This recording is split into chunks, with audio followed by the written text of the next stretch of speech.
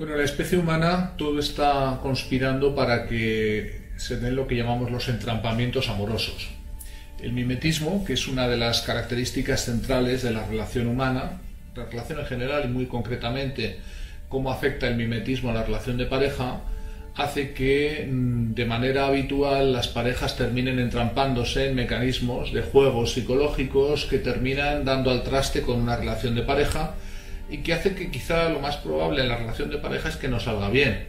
Son muy pocas las parejas que debidamente informadas, debidamente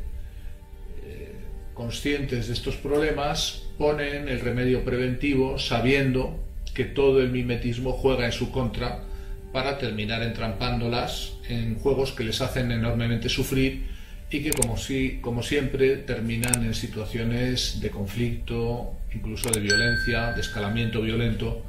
que eh, pues finalmente suelen dar a veces titulares en los medios de comunicación.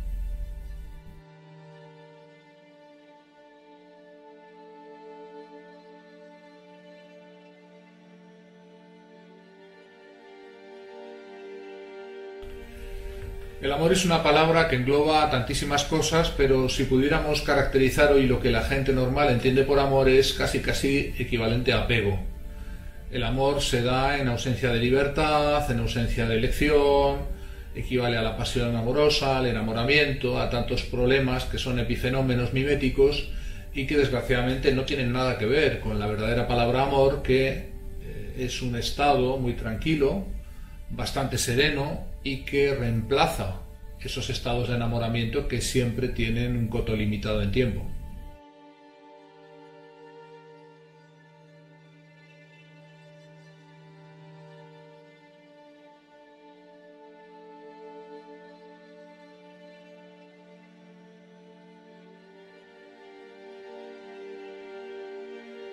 El enamoramiento es una herramienta que la evolución ha puesto en el cerebro humano para garantizar un periodo de entre 9 y 18 meses que la hembra y el varón humano estén juntos sin abandonarse mutuamente, garantizando de este modo el periodo mínimo del embarazo y de la primera lactancia, un periodo de máxima vulnerabilidad que la especie humana necesita garantizar pues la unión, la cooperación, la solidaridad de la pareja para cuidar de la prole, del nuevo nacido y ese estado de enamoramiento es una sustancia que el cerebro segrega, que se llama feniletilamina, también se llama hormona del amor, y que garantiza, como digo, eh, la permanencia de la pareja humana vinculada durante ese periodo mínimo de entre 9 y 18 meses. Son muy raras las excepciones en las que el enamoramiento trasciende ese periodo y quizá cuando hay gente que dice que lleva más tiempo enamorada es que se ha enamorado, desenamorado y reenamorado en diferentes procesos con la misma persona. De tal manera que el entrampamiento del enamoramiento es uno de los mayores entrampamientos en la medida en que hay muchas personas, cada vez más, que debido a nuestra educación sentimental, romántica, identifican, hacen equivaler automáticamente y solamente eso el enamoramiento con el estado de amor. El enamoramiento tiene que terminar para que otro estado sucesivo y alternativo, que es un estado de amor racional, se instale y pueda dar origen a una relación de largo plazo en la pareja.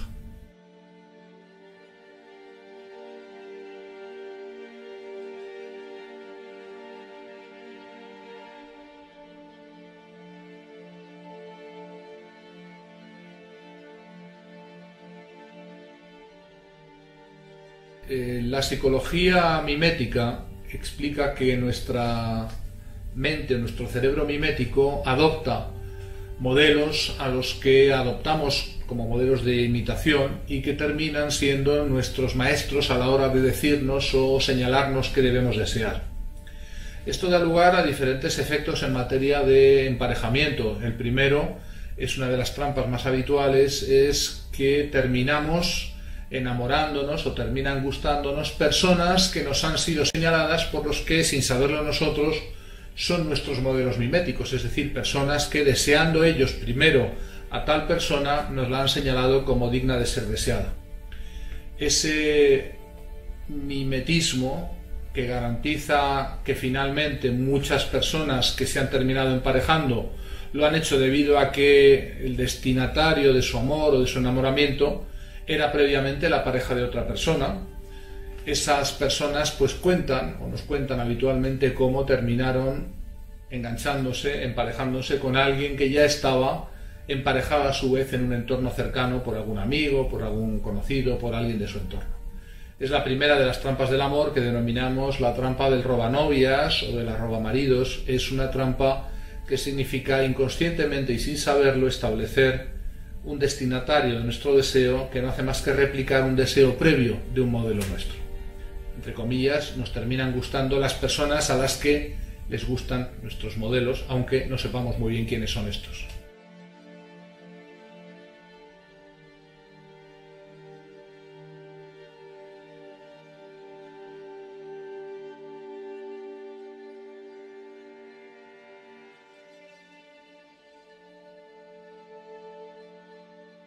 Bueno, las siete leyes del deseo mimético es una es un conocimiento que nos ha sido prestado hace bastante poco por los que han eh, desarrollado la teoría mimética, básicamente René Girard, y el correlato de la teoría mimética que son las neuronas espejo y su funcionamiento. ¿Qué nos dicen sobre el deseo? Pues que el deseo humano es tanto más inconsciente cuanto más copiado por parte de otras personas que nos han señalado lo que desear. Esas leyes nos dicen que el deseo termina con su satisfacción y se exacerba con la oposición a los obstáculos que se ejercen contra él, de tal manera que no hay nada más eh, exacerbador o más intensificador de nuestros deseos por alguien que el hecho de que ese alguien se nos eh, oculte, se nos arrebate o se nos pongan obstáculos a la hora de conseguir esa relación. De tal manera que muchas personas que conocen intuitivamente esto o que juegan con este argumento mimético, terminan haciendo una estrategia para gustar, para ser deseados por otros, que consiste básicamente en obstaculizarles el acceso, bloquearles el camino, este obstaculizarse el acceso o bloquearse el camino es lo que llamamos la estrategia de la coqueta. La coqueta o el coqueto es aquella o aquel que se hace el indiferente, el frío, el desapegado, el desinteresado respecto a la persona que sí le interesa con un objetivo muy concreto y es con el objetivo de exacerbar e inducir el deseo mimético sobre ella o sobre él. Cuanto más indiferente es la coqueta, cuanto más desapegada aparece frente al eh, pretendiente, más exacerba éste su deseo por ella, mayormente o de manera más intensa se crece o se intensifica el deseo por la coqueta.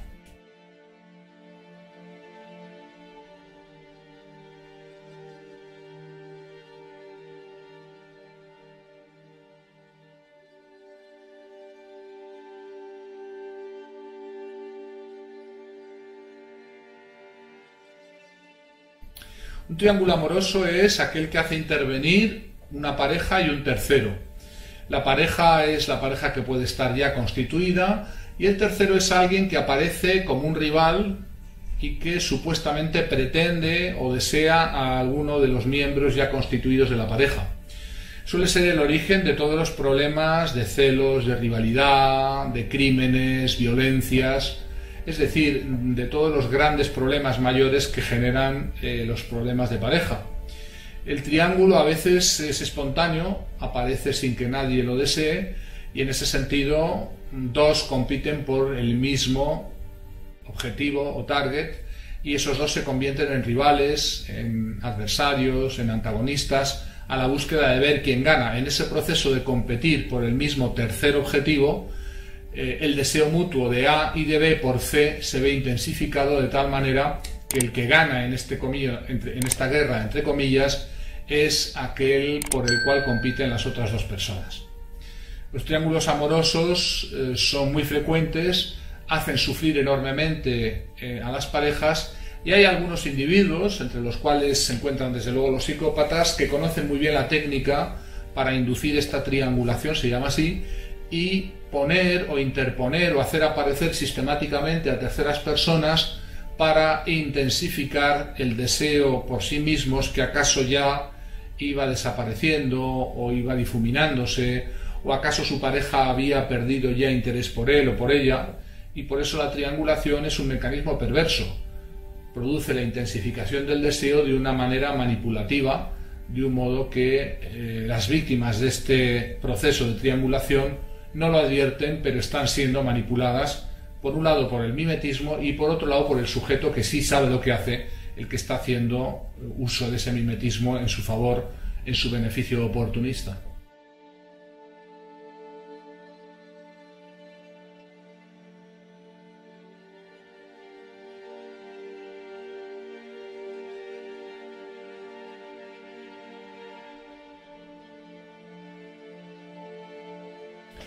El sujeto normal, puesto a ver qué hay que desear, qué es bueno desear, ignora lo que es bueno o lo que es deseable desear. Esto ocurre desde pequeño. Los niños empiezan a desear las profesiones de sus papás, de sus mamás, empiezan a hablar como ellos, a utilizar el lenguaje de ellos, el deje, el acento, imitan todo. Y también en un determinado momento imitan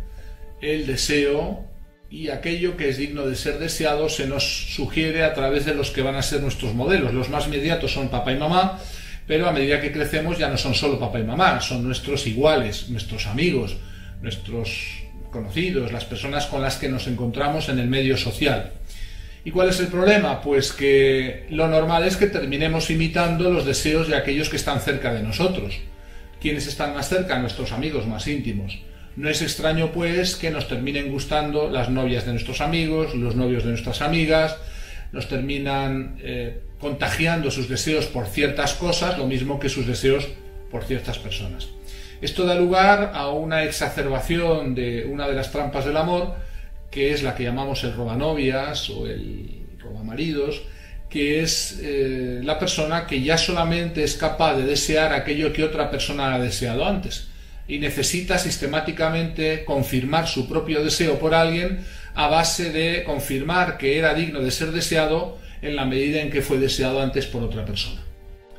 Esto es un problema porque convierte la relación de pareja en una guerra, en una guerra por intentar privar a otros de sus relaciones de pareja, por intentar, entre comillas, robarle la novia, el novio, el marido, y eso pues es fuente de enorme antagonismo, de gran violencia y a veces incluso de problemas mayores como son los crímenes.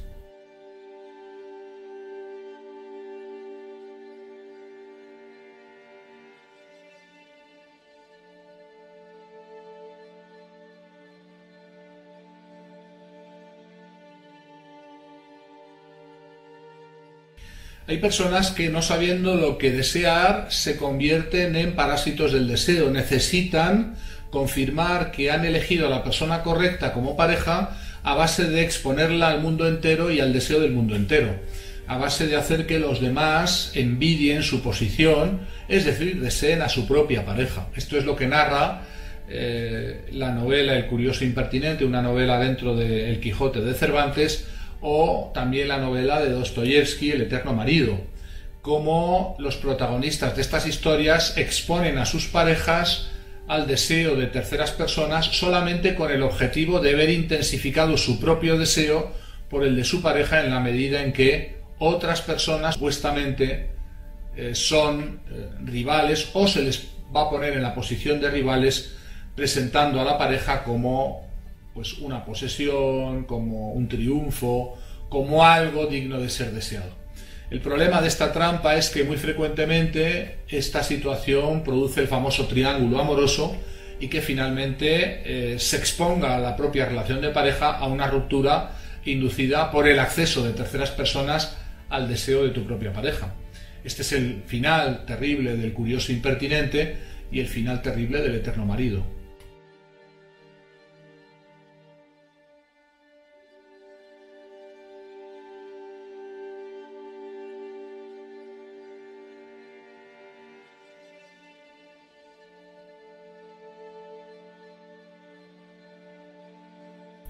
Hay personas que, eh, viendo decaer su deseo por su pareja, las ponen a prueba, las ponen a prueba en la medida en que eh, les ponen pruebas de fidelidad, les exponen a situaciones de riesgo. Es un poco la trampa del curioso impertinente, lo que narra la novela. eh, toda la novela narra como el protagonista, para asegurarse de la fidelidad de su esposa, utiliza a su mejor amigo para inducir una tentación de infidelidad en su esposa. El hecho es que esa prueba de fidelidad se termina convirtiendo en un gran riesgo y se termina convirtiendo en un problema que rompe o que quiebra esa misma relación de pareja.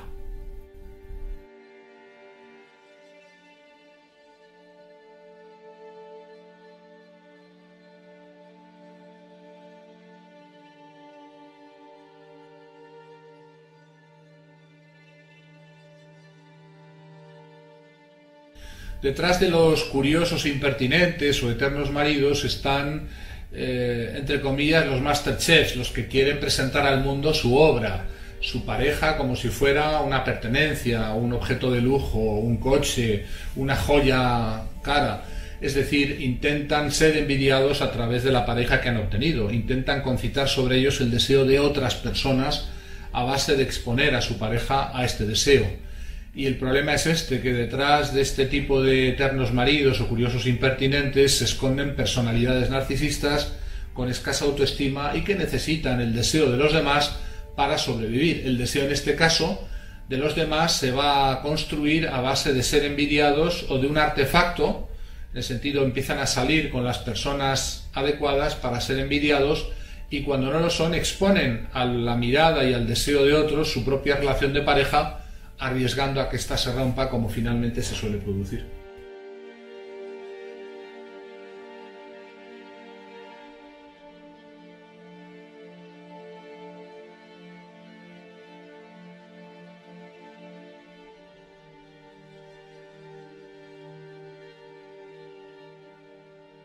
El final de los eternos maridos es un final aciago, amargo, porque ven finalmente cómo su profecía termina autocumpliéndose. La profecía por la cual exponían a terceras personas, a su pareja, eh, ponían a prueba esta, hacían que eh, los demás envidiaran su posición con su pareja, no hace más que incrementar el riesgo que en un determinado momento el tirón mimético haga que otras personas efectivamente terminen arrebatándole su propia pareja y se confirme esa profecía autocumplida que el eterno marido hacía de creer, pensar, sospechar, celar a su pareja, haciendo que finalmente estos celos se materialicen en la realidad.